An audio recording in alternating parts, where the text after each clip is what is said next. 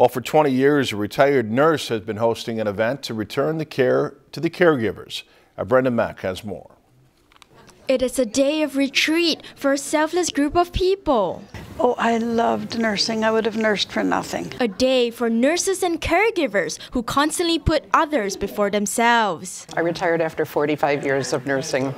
Yeah. But today, they are being reminded to care differently. They are told to first love themselves. It's a wonderful time to kind of focus on myself, uh, which is sometimes very difficult to do, given time constraints, given, you know, given everything. You're not, we're not taught to take care of ourselves first.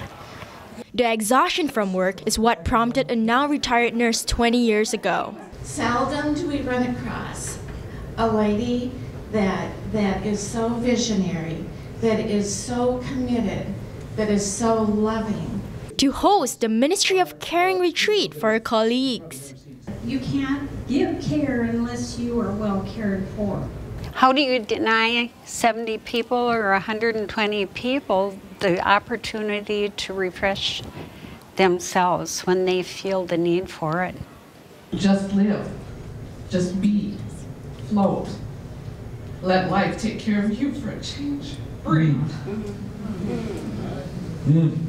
Think well, do well is the mantra of Reverend Nicholas, and this year he shared his personal stories to inspire and replenish the hearts of caregivers. A sense of purpose and self, and, and the authenticity that you bring to your purpose to be able to deliver that just by the person that you are.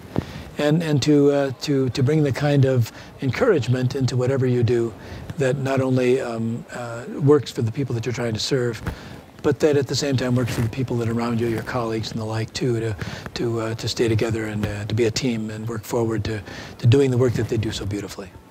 This annual event is open to all caregivers. That includes family members and also friends. Here in Bemidji, I'm Brenna Mack for Lakeland News.